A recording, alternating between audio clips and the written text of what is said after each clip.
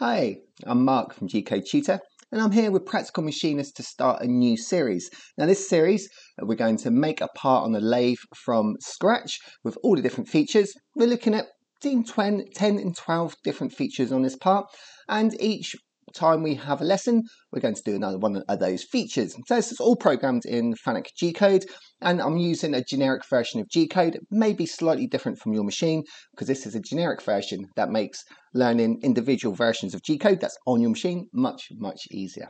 Okay, so let's make a start.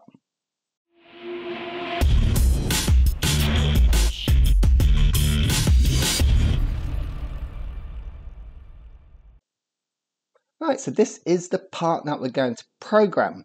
Now this drawing and um, some example programs are over on my website. There's a link below in the description to go over and get these slides. Okay, so this is the part that we're going to make. Now it's in metric this time, and we've got a lot of different features here. We've got external screw thread there with the M20 fine thread. We've got lots of grooves, so we're going to need a grooving cycle. We've got some internal work there, plus an internal groove. And that big bore at the back there, I'll probably bore out with a U-drill. And then go in with a finished bore. So I think that's the main features that we need to look at here. We've got a through drilled hole there, that's 10 millimeters diameter. So that doesn't need to be bored, that just needs to be drilled.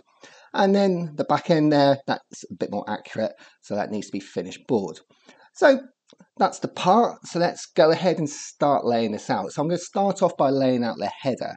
So the header is um, where we have all our information from the program. And ideally, we should be able to put all the information there so we don't need setup sheets. Now, this is not always the way. A lot of companies like the setup sheet thing, but we want enough information in our header to get rid of those setup sheets. So imagine making this part without a setup sheet. All the information is right here. So that's what our aim for is making this header. Okay, let's have a look, see how this looks. So our first line is our program number, and that's a letter O at the beginning. Now it's O followed by three zeros and four. So it's program number four, and that's how we write it. And we end up there, a bit there in the brackets, that is an operator's note. So sealed cap the name of the part. So I'm popping out an operator's note next to the program number so the operator knows what this program is. at the very end of that line, we have an end of block command, that semicolon there. That tells the machine we finished reading this line and to move on to the next. So next up, I like to put my name to it. That way, if there's any issues with the program, if any updates need to be made, the operator can find me and know who it was that originally programmed this to make things a little bit easier. And that's in an operator's note also. So the machine can't read anything that's in brackets, and most of this header is in brackets. Also put the date on there, so we can check version numbers, etc. Now, if we do have setup sheets to go along with this, they would tie into the setup sheets so we know that we're on the correct version. I also state what machine I'm programming because each machine can be slightly different.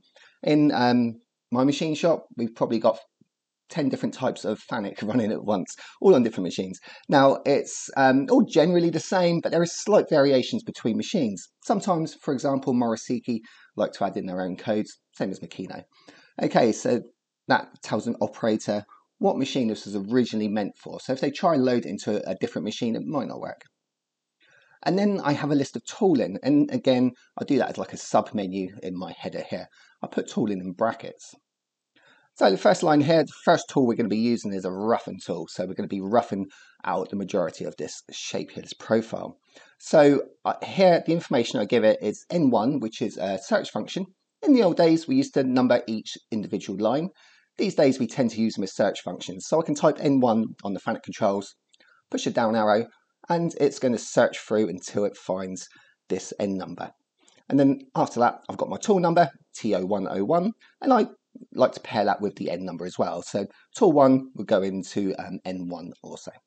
And then finally, um, within these operator note brackets here, I've got um, a note saying what this operation is. It's We're using a roughing tool. So that's um, identified our tooling. So the next line, I want to identify the tip of that tool. Because if we use different grades of tips each time we set this job, we might not get the same results. We might have dimensional inaccuracies or surface finish issues. So we always want to be using the same tip and the same tooling every time this job's run. So talking about tool holders, underneath the tip, I put in a tool holder I'm using. That's holding that tip. That way, future operators got all the information they need to be able to set that tool. So once we've got all the information for our roughen tool in there, we can move on to the next tool. So the next tool is a finished hand tool. And I'm putting this under tool 2 and offset 2 and also N number 2 as well. So we can search for that N2 if we require.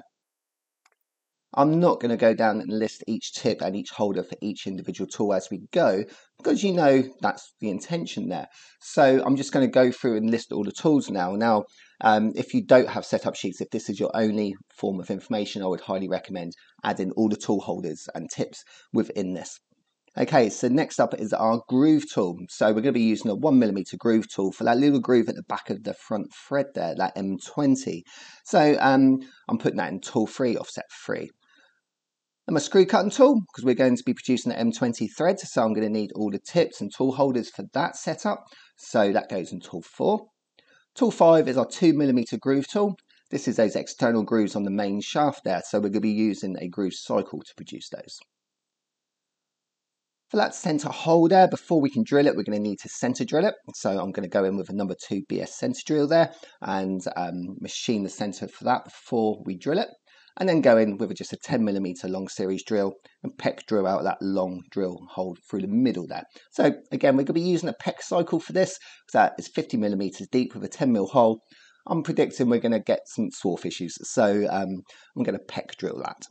And then finally, at once that drilled hole's done, we can part it off. So all the parting off tool information is there. So now we're going to assume we're going to reverse that around. So we're holding on the diameter with the grooves on it. That way we can start working on the back face of this part. And we're going to go straight in with a 40 millimeter U-drill and start roughing out all that material for that bore at the back. And once that's done, we're going to go in and finish, turn that with a finished boring bar. I'm going to pop that in tool 10. And then we got that two millimeter internal groove there on that corner inside the bore. So we're going to look at machining that and that's going to be in tool 11. And then I have an end of block. Now I do this to separate these up. Now quite often I might do this just before the tooling uh, info at the top. So we can separate it into sections so it makes it easier to read. So after I've got my end of block break there, so we've got a little gap in my uh, program we're going to put down our start pull-out length. So this is the initial length of the material hanging out the chuck uh, before we start machining it. And we generally do this with a ruler because the first part of our roughing tool is going to be facing off. So we don't need to be highly accurate for this. We can just use a steel rule, measure 55 degrees roughly from the chuck. As long as it's not under and it's no more than a millimeter over, it will be fine.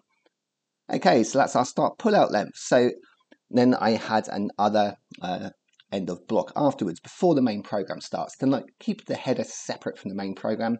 Makes things easy to see, easy to reference. So that's my header program. That's how I write a header. Now, this slide as well is available below on my website um, to download, so you've got a reference as we're building this part. Okay, so that's the end of the first section of our part here.